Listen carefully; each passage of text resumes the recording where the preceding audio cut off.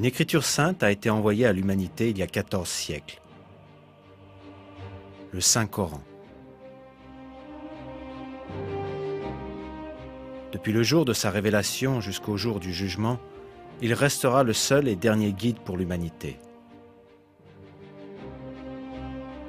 Il y a d'innombrables preuves indiquant que le Coran est la parole de Dieu.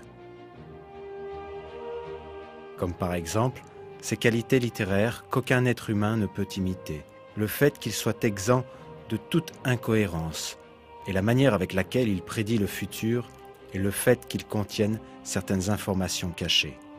Le Coran contient un autre miracle qui prouve qu'il est la révélation de Dieu. C'est le nombre remarquable de vérités scientifiques qu'il contient. Dans ce livre qui a été révélé il y a 14 siècles, d'innombrables exemples d'informations n'ont été découverts que par la technologie moderne.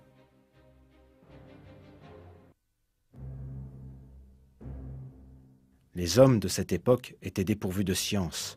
Les conceptions de la nature de l'univers étaient basées sur la superstition et les mythes.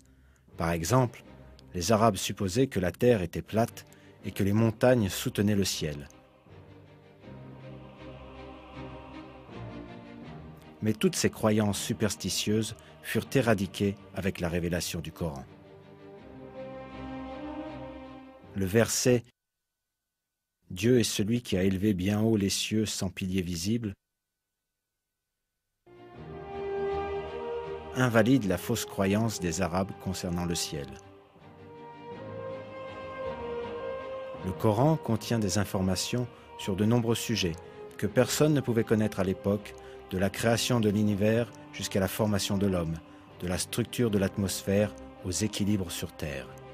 Des découvertes scientifiques récentes ont montré à quel point ces informations sont miraculeuses.